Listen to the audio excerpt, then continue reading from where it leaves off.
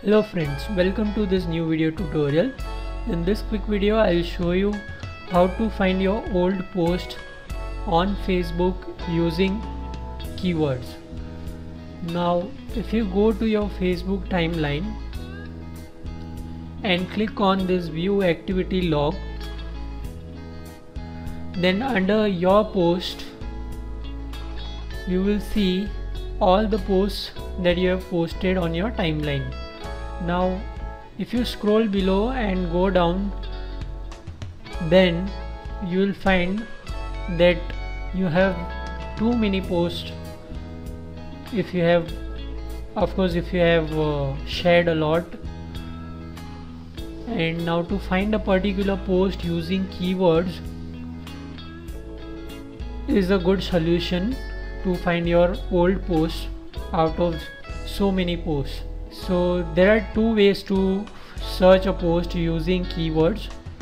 Now the first way is is that you will go here by going into your uh,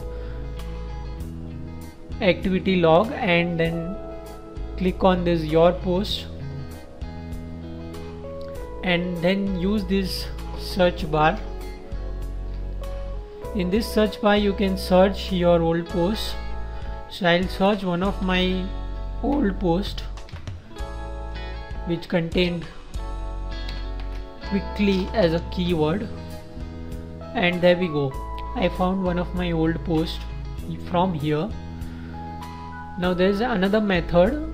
In that method we'll use an extension so you can go to chrome web store and search for this extension called q search and hit enter. Now this is offered by app.qsearch.cc looks like some chinese company. You can add this to your chrome. And once you have added this to your chrome just log in with Facebook. I have already added this to my Chrome. So I'll just click on this extension. And you can see that I have searched here YouTube and it has written one of my old post. Now if I click on this particular icon then it opens the same post also this is actually a better method because it shows all the number of likes comments and everything. You can choose whatever method you like. That's it friends. For more tips and tricks please subscribe to my youtube channel. And also please don't forget to visit my blog technologywindow.com see you in the next video